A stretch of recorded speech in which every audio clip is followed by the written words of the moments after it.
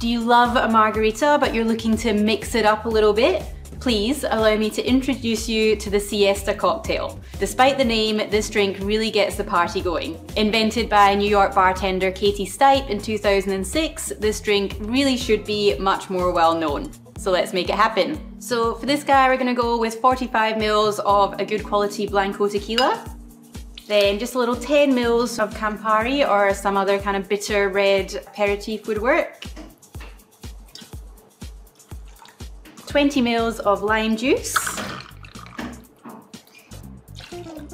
15 mils of fresh grapefruit juice, 15 mils of sugar syrup, So obviously there's some kind of quite a lot of sour and bitter flavors in there, so you are gonna need to balance that out a little bit. So then we're gonna give that a shake.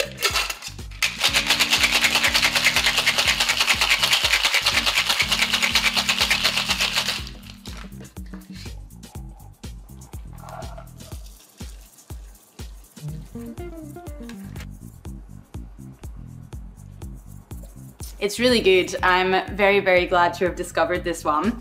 See, I'm quite a big fan of kind of more bitter um, things anyway, so just that tiny little kick of Campari just gives it heaps of length um, without overpowering like you do still get a really good solid kind of agave hit from the tequila as well. Um, and that grapefruit juice um, with the lime juice just kind of rounds it all out really nicely. The siesta cocktail. So now you know.